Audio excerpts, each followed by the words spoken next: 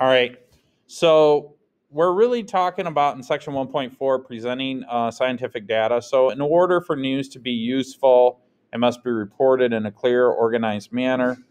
Like the new scientific data um, become meaningful only when they are organized and communicated. Communication includes um, visual presentations such as this graph. So now if we look at this graph, it's clear to see that as time increases, distance increases, right? So just take a second and look at that. Now you can make trends and you can make predictions, but the data is clear and organized. Okay. Um, how do scientists organize data? Well, scientists organize their data by using tables and graphs. So we record a lot of information, and then we'll have to use that information. But first, we have to or we have to uh, record it, because in the real world, if I measure everybody's, if I measure everybody's um, height, I'm not going to measure it in order. The first kid might be shorter than the next kid, but then the next kid might be in the middle. So it's all random. I have to organize it so I could go from shortest to tallest. Does that make sense? So Data tables is the simplest way to organize uh, data to present them in the table. This table relates two variables, a manipulated variable, like the location, and the responding variable, annual uh, average annual precipitation. So this one is just saying Buffalo, New York has 98 centimeters of rain on average. Chicago has 91. Colorado Springs has uh, 41. Look at San Diego. San Diego only has 25. And that's it. It's just organizing data, not in any specific way. Now, line graphs are useful for showing changes that occur in related variables. Sometimes in a stats class, we'll say there's a mathematical correlation or something like that. Um, in a line graph, the manipulated variable, sometimes in math referred to as the independent variable, because it's arbitrary, you could change it. It's generally plotted in the horizontal axis this way, or what we are used to calling the x-axis. And then the responding variable, sometimes in, in a math class referred to as a dependent variable, um, is plotted on a vertical axis or the y-axis, up and down. Now, you guys, if you've had Algebra 1, you know that slope is the rise over run. And the rise over run is nothing more than the change in y over the change in x. The steepness or slope of this line is the ratio of the vertical change to the corresponding horizontal change. And again, there's the formula slope is equal to rise over run. Plotting the mass of water against the volume of water yields a straight line. In other words, my slope is constant. I'm going to go up 5 over 5, up 5 over 5, up 5 over 5, meaning my rise is 5 and my run is 5. If you reduce that ratio, it's just 1, up 1 over 1. A direct proportion is a relationship in which the ratio of the two variables is constant. It forms a straight line. This is exactly what we uh, discovered in our reading today, right? So the relationship between the mass and the volume of the water is an example of what we call a direct proportion. It will have a slope. The rise will always be 5. The run will always be 5. Okay? That's what they're talking about. Um, 3 cubic centimeter sample of water has a mass of 3 grams, so on and so forth. Now, this graph shows a flow rate of a water faucet's effects the time required to fill a one gallon pot. Well, as the flow rate increases, what do you notice about the time it takes to fill the pot? It decreases, but it's not a straight line. Okay? So this one's not direct. This is what we call an inverse proportion. That's how you get that little curve. Okay? So 0.5 gallon per minute will fill the pot in two minutes. One gallon per minute will fill the pot in one minute, and two gallons will fill it in 0.5. There's the you could look at it like that too. So direct proportion, straight line, inverse proportion kind of has that curve thing going on. Faster than uh, the faster than speeding data. Um, a modem is a device, and you guys probably don't even remember what modems are. That just goes to show how old this textbook is.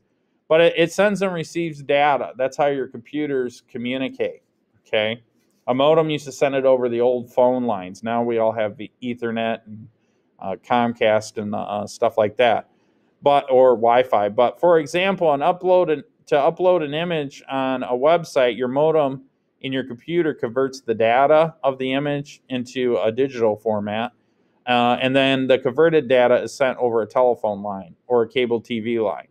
The smallest unit of data that can be read by a computer is a binary digit or a bit. The bit is either 0 or 1. Computers process bits in larger units called byte. A byte is a group of 8 bits. So here this table just basically shows that if you have a faster modem, your upload time can decrease significantly, right? So if you have Comcast, it would take you like 4 seconds to upload a megabyte.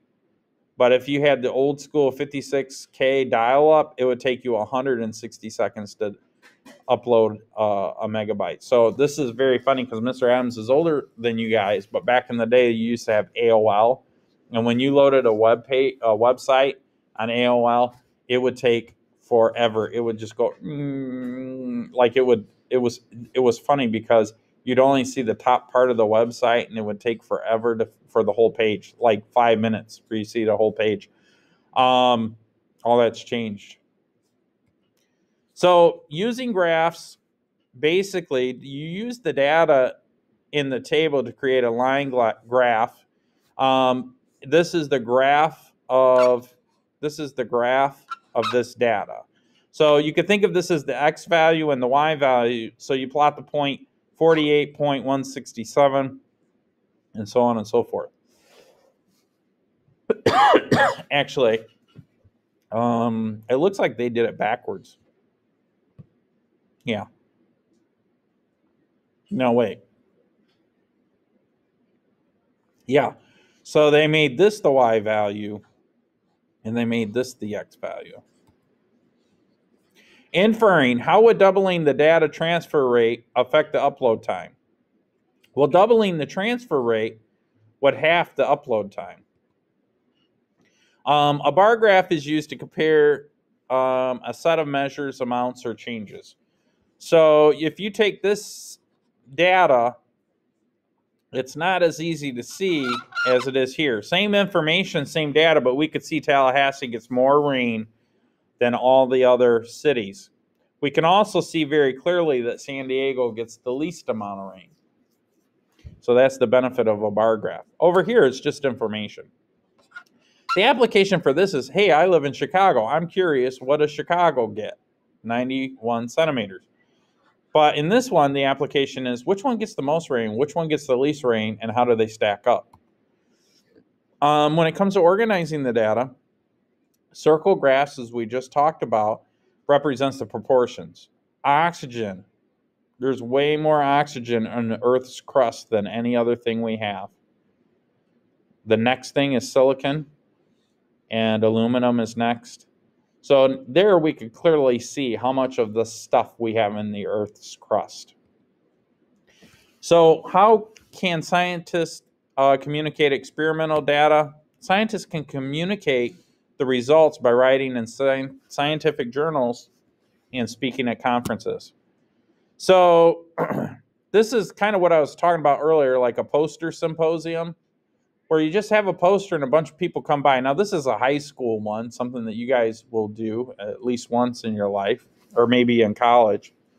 But it's just you do some research, you put together some information, you stand in front of your poster, people come by and ask you questions. So you're presenting the data um, peer review is a process in which scientists examine other scientists' work. They just want to make sure that everything is correct.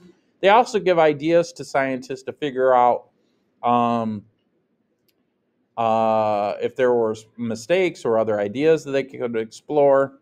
Um, but based on the peers' responses, the scientists who submit their work for review can then reevaluate how best to interpret the data. They want to make sure that they're putting it, and sometimes they'll just say you should word it like this or word it like that. Um, and then we're not going to do the assessment questions for now. Okay. Are there any questions? Okay. That's all I had for you guys today.